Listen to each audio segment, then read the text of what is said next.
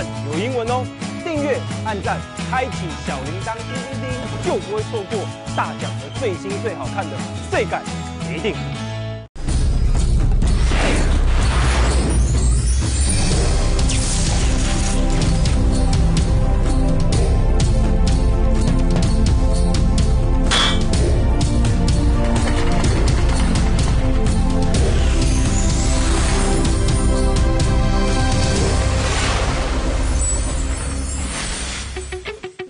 哇，两位，一个奶香，对对对对，奶油的那种香味。哦，重了，下班就中，你看。哇，我们都钓不过新手了。吃的，感受一下衣服。你想用开心火山排骨？哇，跟旁边那个我一模一样。哪么厉害？吃排骨要豪迈一点，像这个肉，我们这是用龙骨的部分。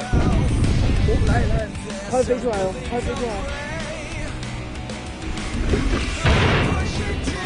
哎呦，哎呦，我过来舔一下。对啊，嘿嘿，来放轻松。好来，来啊！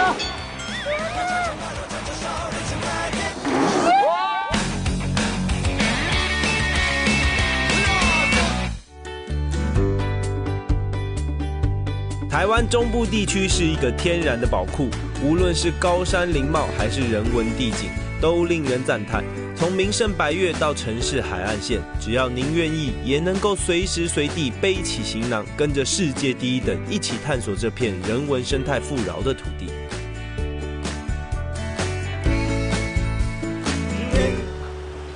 我们要来找民间高手，专门钓溪钓的。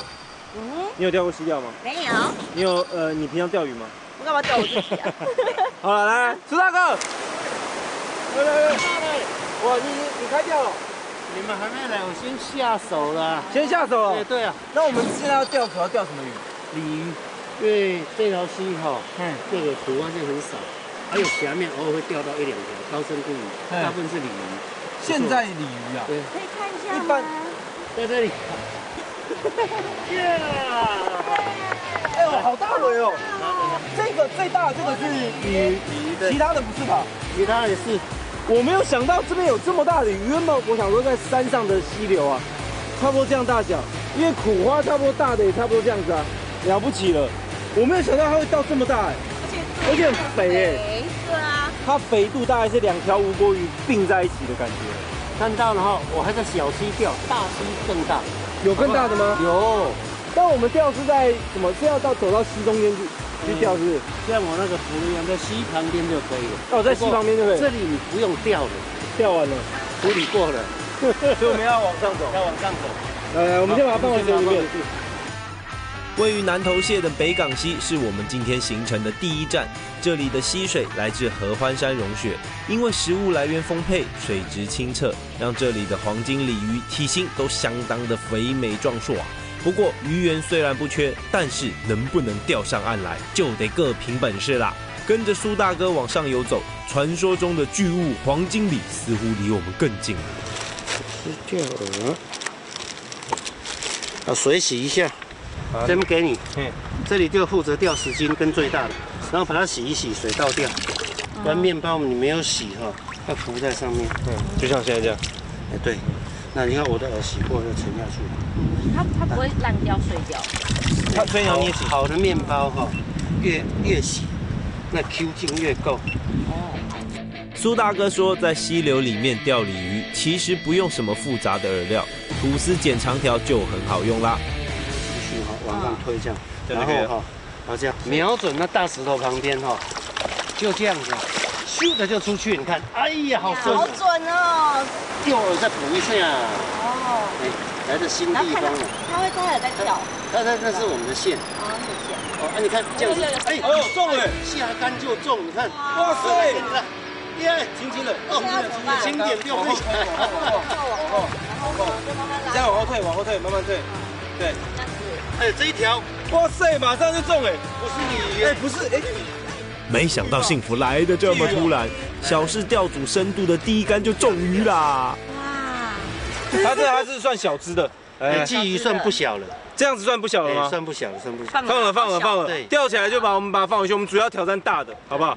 哎你看它的花色，哎呦，颜色非常漂亮，而且你放到水里面，它藏到石头里面，它跟那个地上水里面的泥巴它没有鲤鱼那么颜色肥接接近一模一样。这个叫鲫鱼，溪里面鲫鱼学习一下。很好吃的。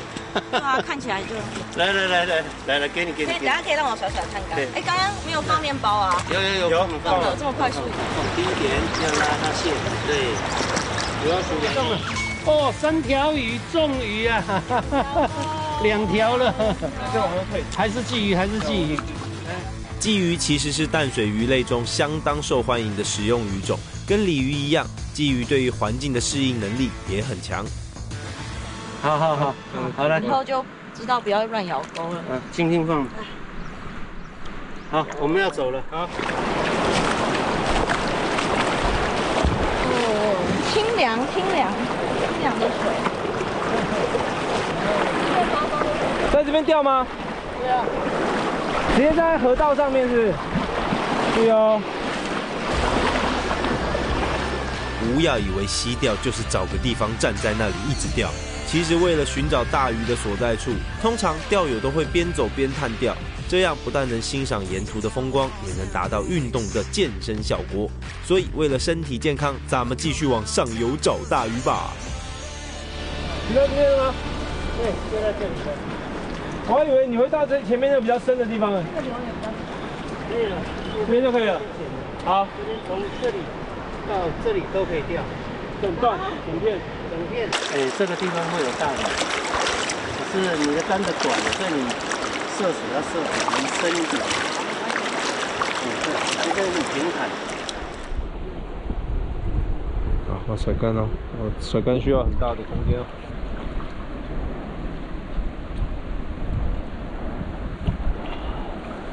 哇！是不是中鱼啊？啊，没有没有没有，我说奇怪怎么？哎，吃掉了啦，有啦。我想说刚才有一个重量在，看其实其实鱼是多的，而且我刚才拉的时候有有一个阻力在，有一个拉力在，所以有可能是大尾。我觉得是阳竿的时机点，因为我这个竿子实在太太长太重了，过长过重，你知道，它的那个鱼，除非我要钓到很大尾，因为朱大哥说这边大的那个鲤鱼，朱大哥，你说这边鲤鱼你最最大可以到多大？三斤，三斤吗？差不多。可以到三斤呢。早上那条放走了啦。一根杆子，一条细线，溪钓的钓组看起来像是各式钓法当中最简单的，其实则不然，不然我也不会钓得卡卡卡。因为苏大哥说，中部溪流普遍宽阔，为了不惊扰到鱼儿，我们的钓竿最少要二十四尺长。光是捧着杆子本身的重量，加上阵阵的风阻，这时候想要正中标点、顺利抛竿，哇，可就得要看技术了。哇哇哇！有鱼啊！哦，这一只一点感一点那个鱼腥都没有。哦，是啊，鲤鱼，是哦，漂亮漂亮，但还不够，因为那杆子太长，我的杆子太长太重，所以一点感觉都没有，那鱼讯也不对，然后深度我还在调，我还在找那个深度，现在这深度应该就对了，不然刚才沉下去我一拉起来什么都没有。好，哇，那么快就中了。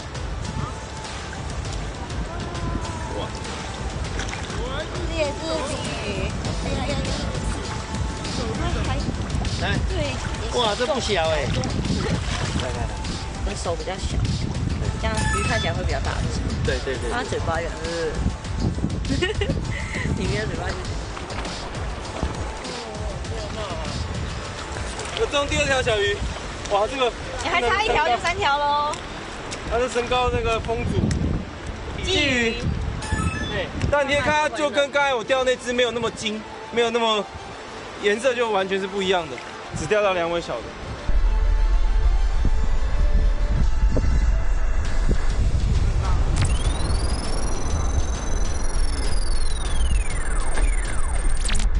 有有有有有有有有有有！哇！大鱼大鱼！哇，很大很大！退的，你要退的。脆的，不要只用杆子拉。杆子断掉。好，拉太大力了啦。对，往往后退，往后退。杆子整个断嘞，好扯哦。第一次钓鱼就钓到杆子断掉了呀。人往后退，人往后退。很快的。人往后退。一般就是这样，新新手硬拉，不要提起来。杆子就一定会断杆，因为像这种杆子手杆啊，前面是很细。什么鱼啊？对，对。大赞哦！哇，我们都钓不过新手了。它断掉哎，这杆子，你看，而且还断两次，而且先先断一次这边，然后后来线整个拖出来，断两次。对啊，为什么杆子会断？没有钓过鱼的新手特别厉害很。容易把鱼竿钓断吗？哎，这是一定的，所以不要跟我借。漂亮。这样这样有一斤哦，合适。这样差不多一斤哦。这种以长度来讲是冠军了。没有，我们今天没有人比得过了。觉得这只鱼很帅，因为自己钓上来的，而且还给我让我的那个杆子断了三节。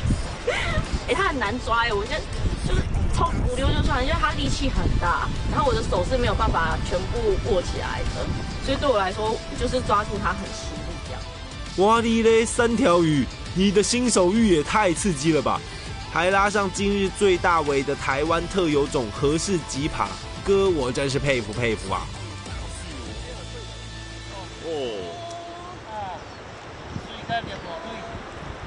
拉太快，这个杆子就会跟我一样断掉。哎，这还是两万多，鲤鱼吧？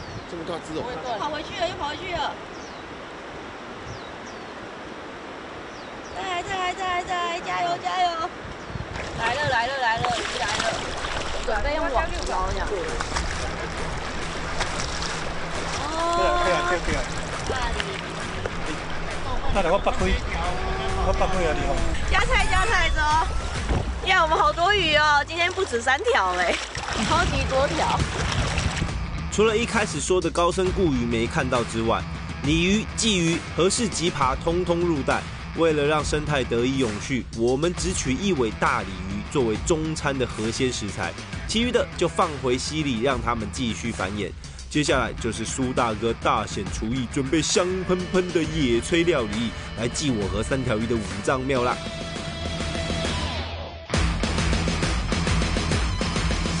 里面黑黑的那一颗一颗的，来到山上要有山的味道，马告玫瑰眼试试看。哎呀，我也赶快来一个，漂亮的粉红色，嗯。嫩哈，嗯。嗯，再不吃我要吃掉。很嫩哦。嗯，那个那个有点焦味一样的口感。你看这个，鱼好没，鱼好没。好，对，我先把它拿起来，这应该大滚。哦，碎，再压滚一下，嗯，香，多哈。嗯，豆瓣鲜鱼，这个再让它滚一下。大家现在那个豆瓣香气啊，很足，因为其实它就是买现成的豆瓣，然后加水，直接整条鱼下去就好了，很简单。简单料理方便。对。今天的主菜当然是我们的豆瓣鲤鱼啦，现捞的河鲜淋上简简单单的一罐豆瓣酱，滚熟之后就能让我们在荒山野溪当中吃上这道四川名菜，真是太幸福啦！肉已经肉已经那个都熟了，熟了，熟了，吃吃看。溪里面的鱼哈，它肉质跟一般不一样，它 Q 的，你吃吃看就知道。而且它在这个水水流湍急的地方，这样自自然在那边悠游啊，这个肉质一定好。很 Q，这鱼肉真的很 Q，很 Q，嗯，弹口，而且豆瓣味很很足。再来，再来，再来。肉很厚哎，厚实，然后。虽然豆瓣酱味道是偏重的，大鱼咬到后面，那个微微的鱼的那个甜味还是会跑出来。哦，好吃哎！光在山上第一次吃这种野生的野生的鲤鱼，拿它的肉，自自己挑自己吃，感觉真的很不一样。特别爽。肉是软啊，但是不会散，还就是还是很有口感的，对啊。不知道是冬天有关系，它的油脂也特别厚。嗯，这条很肥，对啊，跟季节有关系。你冬天的时候啊，它它比较肥，然后它为了酝酿春天的时候要繁殖嘛，对，所以它必须过冬的时候，对对对对？油会比较吃比较多一点，身上的油脂会比较高。哦，所以冬天的时候来来来钓来吃是最。哎呀，很好，但是就是脚会很冷，哎，像你刚刚站在水里，我刚我刚刚其实你会发现我站在那个苏大哥旁边，他只要把那个杆子拉回来的时候，我都会怕，我就很怕那个钩子勾到我，你知道，我都会这样呃，都会这样闪。可是我发现苏大哥都超准，他就手这样轻轻的，然后一回来就是线都会自动回到他手上。可是那个杆子在我手上的时候，我在那边我一样把杆子晃来晃去对不对。想要大探美食，吃得很开心，不一定要到星级餐厅。相反的，像这样号召三五好友一起来溪边钓油煎野炊，绝对是一个非常棒的选择。不仅可以挑战大鱼兼强身健体，还可以欣赏大自然美景，感受不一样的生活步调。在惬意的享受悠闲之后，我们告别苏大哥和同行钓友，接下来在前方等待我们的还有更刺激和冒险的旅程。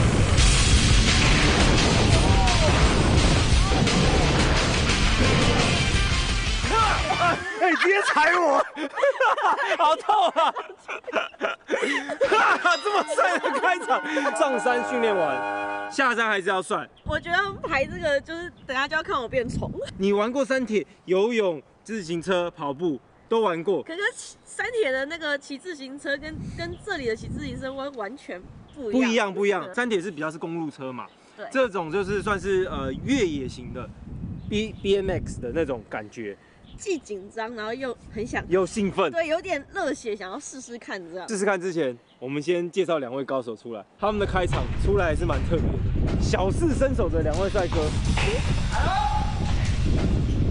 来来来来，他会飞出来哦，他会飞出来哦。哎呦，哎呦，他在空中还撇一下。对啊，教练，江教练，小贾，来来来来来来来来，哎呀哎呀哎呀，来来来来来，两边两边可以可以没问题。哎，教练来跟我们介绍一下吧，因为其实你可以看到他现在这个车子啊，跟我们印象中我刚才讲 BMX 那种在玩的那种又好像不太一样。像我们两个今天目前骑的这个车款就是属于 enduro，就是一种耐力赛的脚踏车。是，它在比赛过程需要靠自己努力完成，爬到山顶，嗯，然后再冲下山。那冲下山的路段它会计时，然后就是用这个计时的时间最短的下去踩。所以爬上去也要骑自己骑上去吗？对你不能坐车上去冲往下冲不。行不行，那又是另外一种，有一种叫下坡赛，它就是在国外就是坐缆车到山顶，然后只骑下坡。那像这种耐力赛，它就是需要上坡跟下坡，所以脚踏车的设定上面就会不一样，就比较特别，就是像我们这个坐管它是升降的，哦，对，因为我们就是爬坡的时候，为了膝盖不要过度疲劳过弯曲嘛，所以就是可以坐高一点，踩起来比较舒服。对，但是在下陡坡的时候，如果是这个角度坐垫那么高，我们可能屁股就容易被顶到，会翻车。重心对像我们刚才要从上面跳下来的时候，我就需要把它降来。哦对对，这是现在这种耐力的脚踏车最大的特色。那轮胎就是大家就是一眼就可以看出，像这种越野胎，它比脚踏车还要宽，然后有颗粒胎，就是对对付越野地形，然后会有前后避震器这样子。所以这种这种车就除了一般人家骑 off road 以外，它还可以做一些像你们刚才这样子飞跃啊的这种特技，是不是？没错，现在呃比较主流的大概是这种脚踏车，因为它等于是全功能，就是你要爬坡也可以，下坡也可以，然后偶尔要去骑道看看风景也 OK。我们我们等一下会有机会可以玩玩看，比方说一些坡度啊，哦上上下下没。问题，因为我们学校啊是目前全台湾唯一坐在校内有户外越野土坡场的学校。哦，真的、啊对对对这么帅！等一下麻烦那个教练跟小贾教一下，我们先从一些简单的基本动作比方说辅助轮先装上去，然后我们开始骑车辅助人，之类的，我乱讲有这。种辅助人是不是太夸张了？其实我今天最大的愿望是想要看到两位跟我一起飞啊。准备一下，我们等一下开始飞我了。先离开，我先离开。咱世界第一定难得前进校园，没想到台中的日南国中竟然有这么酷的脚踏车训练场。在校方的支持下，江思汉教练努力推广单车运动。眼前这座全台独一无二的土坡场地，让学生在校内就可进行登山车的越野训练。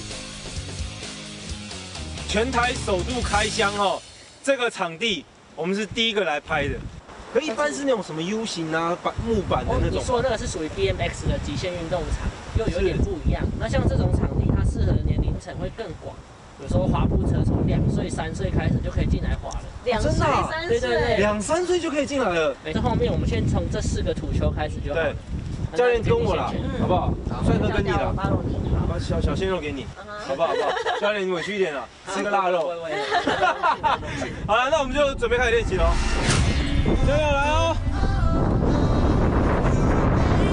来放轻松。来了。网络版有英文哦，订阅、按赞、开启小铃铛，叮叮叮，就不会错过大奖的最新最好看的最感一定。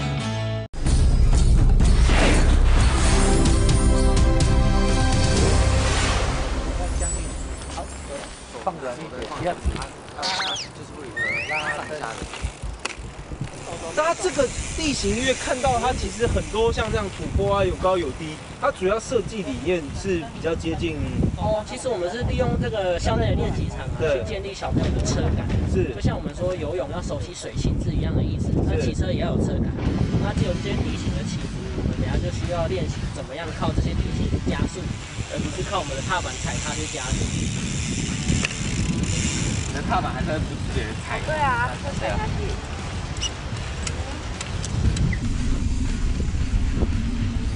这出做，但是肩比较大嘛。可是做了蹲压就忘了手。对。压是蹲。你以为卡达恰只能用脚踩吗？No No No！今天这一趟算是颠覆你我对脚踏车的认知了。教练说，骑登山车时尽量不要踩踏板，必须利用地形坡度进行加速，跟着地形律动，进而随时平衡车体，达到人车合一的境界。哎，难道这是要我当变形金刚的意思吗？我们要准备飞人了。我一开始就先许愿啊，我想要看你们两个人飞我。真的假的？真的可以啦，真的可以。你说我们飞你，教练很有信心。你你是会在板子前面，还是你会在旁旁边看我们？我我躺在板子后面啊。我们等下如果可以的话，就来飞飞看。好啊好。然后我们不管飞好不好，你再飞我们。我现在觉得教练很有自信，小刚也很有自信，好像就我比较害怕一点。没有没有，你要讲，我们至少是先压到他们，我们就休休息了。反正是压到我，我想子。能成为台湾下坡赛好手，咱们江教练的胆识果然不一般呐。你敢躺着让我飞，我马西抓雷蛋呐！不过那个三条鱼，我看我们还是先躺一下，让专业的先示范怎么飞。阿内卡透懂啦。好，继续来了。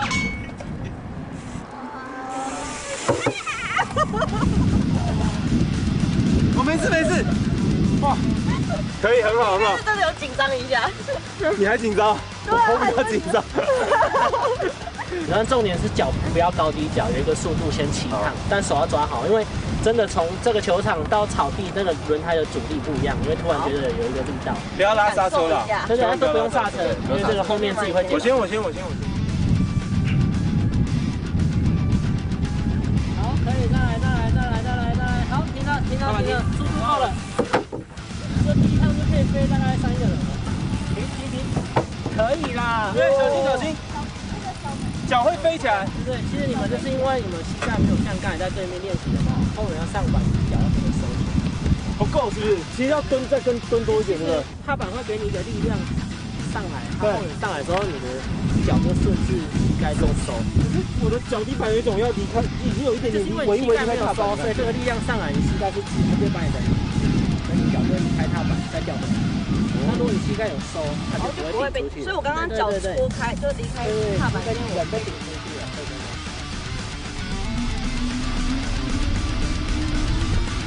等一下哦，来哦，加油来哦！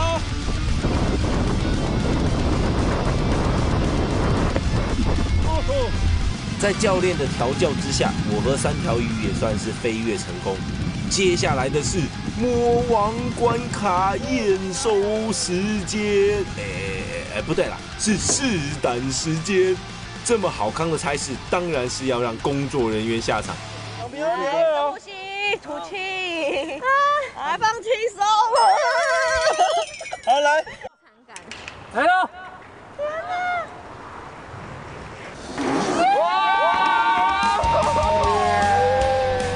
阿尼阿伟，我只能说活着的感觉真好。眼下没有借助辅具板，却能让脚踏车平地起飞，轻松飞跃四个人，这种人车合一的境界，绝对不是菜鸟如我能够轻易达成的。不过结束了训练场地的热身，咱们即将前往下一站实地体验越野登山车的秘境林道冒险旅程。哦，要进入林道了。离他远一点，没关系，没关系，这都围下坡。吃排骨是要好卖一点。那这个就，我们这是用龙骨的部分。网络版有英文哦，订阅、按赞、开启小铃铛，叮叮叮，就不会错过大奖的最新最好看的碎感一定。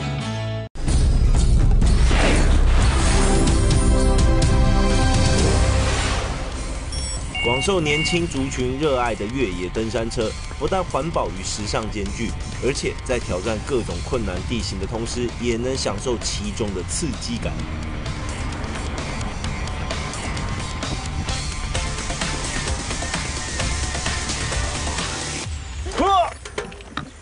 好啦，真正验收的时刻，好不好？我们已经不是在这个训练场地了，我们来到真正的，哎，小小这边叫什么？老外领导。哦，真的、啊，所以一开始是外国的玩家来这边，然后发现这边，然后开始让他把它稍微打造成可以。没错没错，我们刚才在学校那种地形，那等下都会经过这样。哇塞，这个已经多少年了？超过十年了。超过十年了。对对对那其实它整个赛道或者整个呃路线，其实都是蛮算是蛮完整，也算是安全喽。哎，对，没错没错，它有很多难易度不同的路线，是有一些树林林道的部分，对，大家都会经过。好，那我们就等一下谁带路？小贾，小贾第一个小，贾带路。小贾带路哦。好然后看走什么路线，我们就跟着走哦。好，好，好，不啰嗦，出发，Go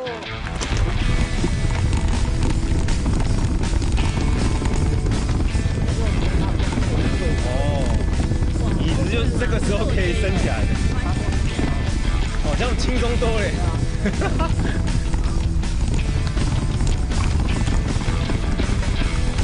哇，好轻松哦。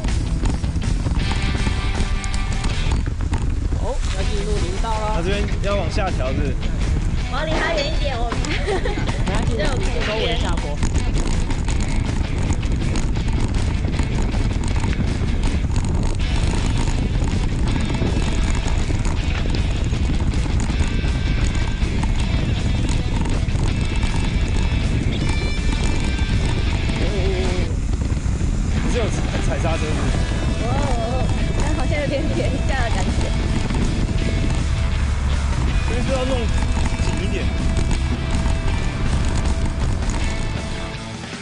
中南屯区大肚台地上的老外林道，是一处在大马路旁的封闭林地。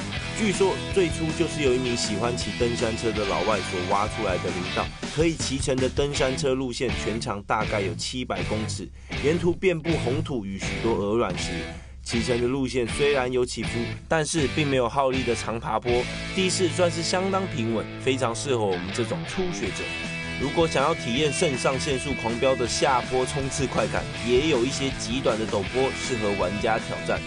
当然，燃烧了一天的战斗魂之后，接下来就要好好记一下自己的五脏庙了。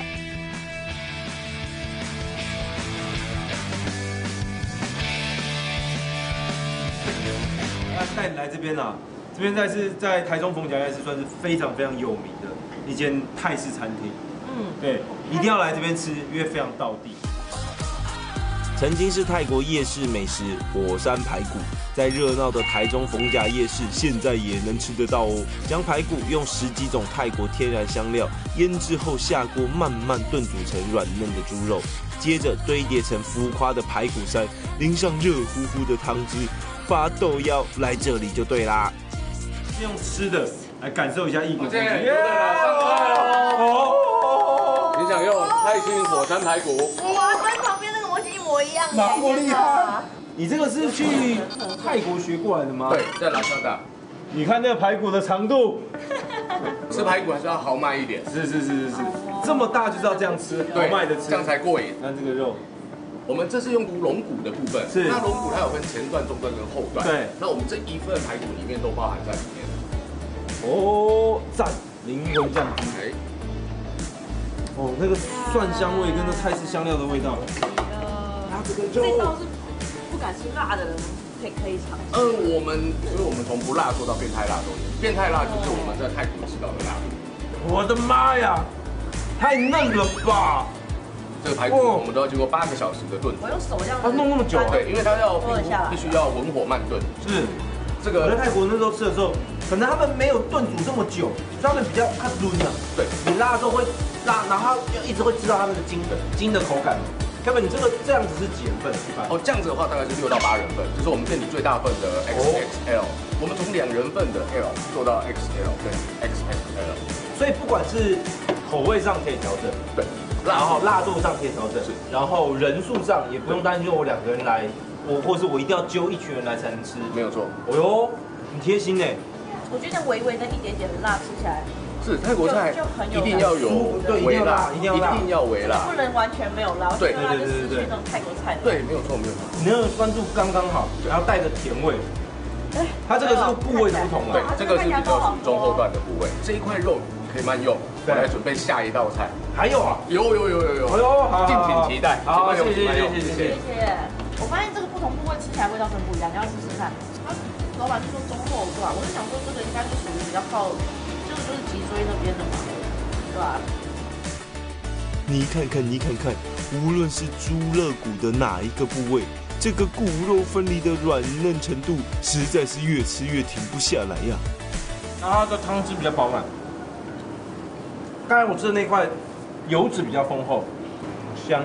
来，抱歉，为您送上泰国佛统府的火山虾。哎呦，这太厉害了！我还在烧哎。来，另外这个是这道菜的精髓，这个泰式海鲜酸辣酱。哎呦，我我是很想现在马上就尝试，可是我一看这虾子还在还在冒火，我就有点不敢动手。不要不要不敢，等一下我来我来我来。我知道它会很烫，所以那你知道有有什么诀窍？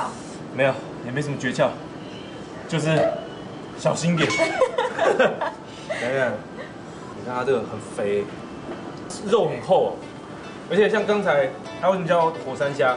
老板他一开始先把它盖住，然后它上面撒那个高浓度的酒，然后点火，直接在里面焖烧，它的盖子像火山一样，它就是把外壳的那个香味烧起来，对，你看那个肉，哎闪亮亮。是肥美。我先来试。还是哇，香哦，微微的酒香，漂亮。怎么样？我觉得它这个柠檬皮一定有下去，嗯，微苦，微苦哦。然后试试看，比较不会腻的那种感觉，你看。我跟你讲，它这个酒香刚刚好，烧完以后留在它虾肉上面的酒香。我现在知道你讲所谓苦味，就像老板讲，你讲有柠檬皮，它带着那个柑橘皮的对，上面那个皮的那个油脂的橙色味不一样，对嗯，但这个苦味是舒服的。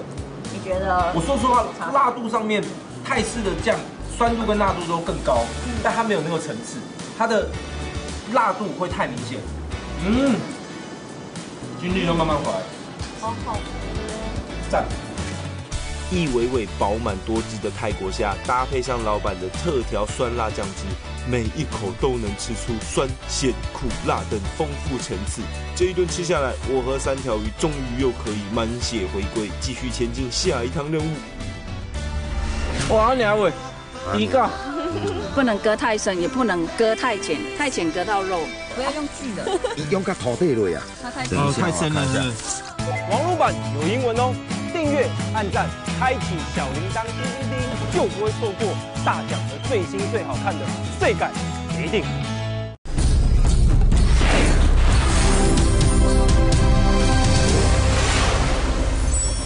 在你最熟悉的这个区域的附近，然后做你不太熟悉的事情。对我来普里这么多次，第一次下田哎。对，平常都是往上走的。田哥，走，走，好，搞上搞上，后，因为我们今天这个三条鱼啊，它平常来这附近啊，都是经过普里以后就往山上去了。嗯，它很会爬山呐，很会爬山，会不会下田？不会，没有，第一陶机盖，陶机盖。好，我们今天就是要体验我们假白笋，就看不到。哎，你你知道哪一只能割吗？可以割，不是每一只还不行。假白笋就是因为它每一只的成熟度，哦，时间点不一样，对，所以它没办法用机器。它全部靠人力，所以我们市面上茭白笋算起来是比较高经济价位的蔬菜。对，以前如果十年前，现在是没有一只茭白笋，啊，就是农民技术用灯照法才有茭白笋。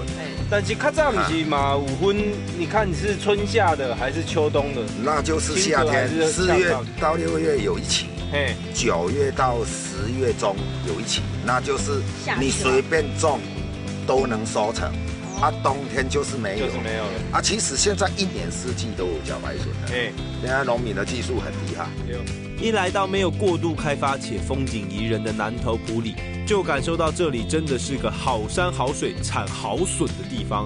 有着纯净的土地与水源的埔里，不但是台湾种植茭白笋的产地之一，而且这里的茭白笋不再只是夏季限定。更是一年四季都可以采收，而且在日照技术的引进之下，埔里也成为台湾出产茭白笋的重镇。哦，我先割一只啦，我先割一只茭白。这么快就割一只哦？看到就先。哎，先割啊，跟你们介绍一下。哎，之前来拍其他的时候，他是说要去搞小块崩解啊，他做做二十几年了，还要那那样我怎么割？嘿，说的也是啊。有着二十多年采笋经验的贤哥，如果要我们一根根摸完才采，哎，那也太瞧不起他了。小弟，我在这里跟你回系列了。这一种就是很健康的茭白笋。这只为什么我们看得出来说可以割？对啊，怎么从上面看？就是这样，在水水下它会有一个三角形，有没有？不是每一只都有哦。大小。然后叶子这个中间的叶子，它会缩下来。在中间会对，所以我们以我们的经验哈，我们这样肉眼看，我们就马上知道，不用每一只你看这可以缩下来啊，但是以以一般的话，新手的话，可能要训练稍微要摸一下，摸一下。对，你刀子不见才能割起来。对啊，不然你割就从这里割一半。对，你们在水里面就直接把梗，就一定要这样子。哇，有没有漂亮？这可以直接吃，可以，我的可以吃。嗯。想不到还没工作就可以先吃了。吃完要工作。哦，吃完要工作，吃完要工作。你看我们茭白笋有没有亮亮的？有没有亮亮的？你自己有没有看？我们茭白笋有亮亮的哦。啊，这就是自然的啊。你们先吃一下，等一下我让你们体验。哇，好甜哦。嗯，很甜哦。哇，两位，一个。淡淡的那个香，呃，那个那个茭白笋的香味，有一种奶油感，奶香，对对对对，奶油的那种香味，它的奶油是很清爽的那种，不是说那种腻口的那种。然后你看里面有多 juicy，对，里面很多汁啊，整只不会干干的那种，完全不会。很难想象这是完全没有调味过，就直接这样吃。对啊，这是因为我们有做产销履历哈，嗯，我才敢让你们吃啊，一一般我是也没有很。建议说你尝试啦，因为我们这个都能溯源啊，是，所以我的产品我自己要负责啊，是，拍摄啦，盛情难却，我们只好先甘后苦了。当然啦，随着观光农业的发展，采收茭白笋的乐趣成为人人皆可参与的农家乐。来到这里，只要你愿意，都可以换上青蛙装，和我们一样下水摸摸看这些甘甜美味、令人垂涎三尺的美人腿呢。波是算是，你们是。同一颗吗？对，这这这里这算同一颗，这个算同一颗。插苗的，对，还是种种子？呃，插苗。插苗。八水它没有种子，一个苗就可以长那么多。对对对。它这边旁边有没有？连在一起的。它这一根长出来的时候，哈，它还是旁边有这个根系，它会长出这个苗，就是这个小苗，它是这么出来。对，所以在割的时候呢，根部也是一个标准，你不能割太深，也不能。割太浅，太浅割到肉，太深这些筋全部割掉了，这根也可能早就没了。哦，对，所以它就一一根母苗，它会带两三根小苗上来。所以你现在看到这只那么大，所以它旁边是不是有小苗？嗯，就这样子。哦，原来是这样。啊，所以它没办法用机器去采收。哦，你来吃，这支有顺啊。好，哈多的，哈多的，嘿，阿瓜，你找不到点。找到的哈，不要用锯的，用到这，它它用个土地了呀，哦，太深了是，哎，我看一下，好，这样，好，好。啊，我哦，好好好，漂亮，厉害。哎嘿嘿嘿，你看，那刀子很厉害哎哎，那个用剁的，用剁的，啊，这个还不行，有没有？嗯。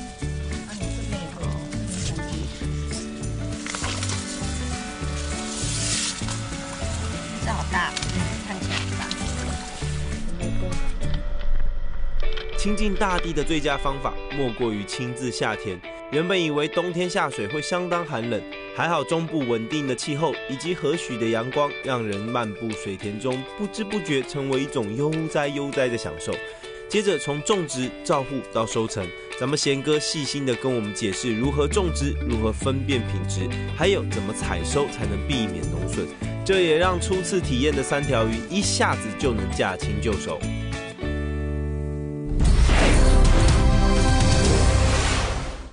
网络版有英文哦，订阅、按赞、开启小铃铛，叮叮叮，就不会错过大奖和最新最好看的最感决定。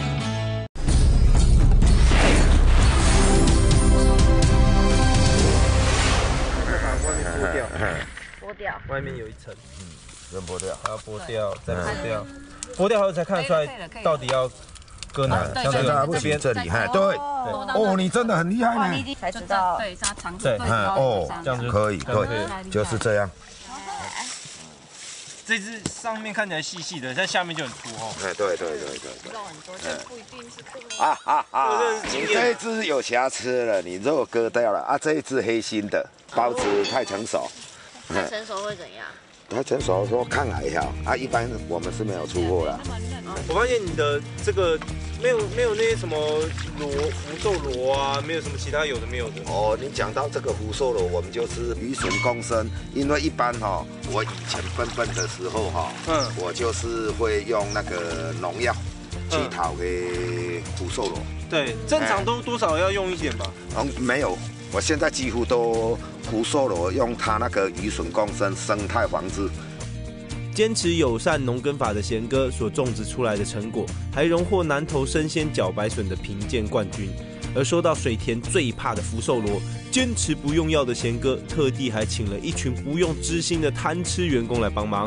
为了出品无毒的产销履历，贤哥对待茭白笋的用心真是无所不用其极啊！采收结束，重头戏就是最不能错过的茭白笋创意料理。那反正刚才吃了生吃的，生吃的对。诶，先从清蒸好不好？老板好，我们清蒸的就吃原味的，吃原味，吃原味。吃一下我们友善种植的茭白笋，它的原味的味道是怎么样？哦，来吃。好，哦，要飞起来了吗？哦，我很喜欢这个甜味，我还是这样搅一搅，到后面那个奶香味。对，它会慢慢一直散发出来，它吃完就会一直想要再持续吃，它一直那个味道。味道还是要保持，对，没有因为没有因为蒸过之后就没了。不会，不会因为蒸过就没了，它反而甜度会锁住。所以它蒸完以后脆度还是有的。然后接下来吃算是老板娘自己创意料理。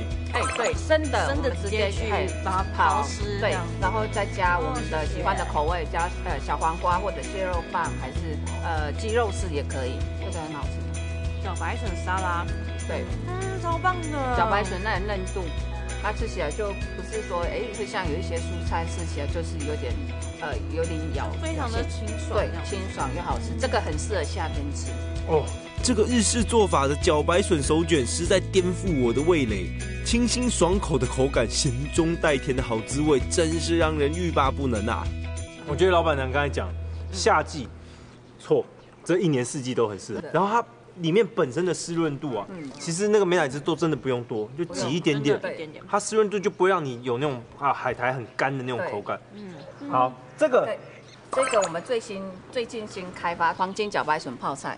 哦，所以这个跟一般如果腌那个黄金泡菜的那个配配配方是有点不一样，会有点不一样，而且我们的茭白笋的嫩度比较嫩，所以呢，它吃起来的那个它的调味要稍微就算是做成泡菜还是甜的哎，对，对啊，酸酸甜甜的，酸酸甜甜，然后又有香气这样子啊，而且这个味道又很跟茭白笋很 match。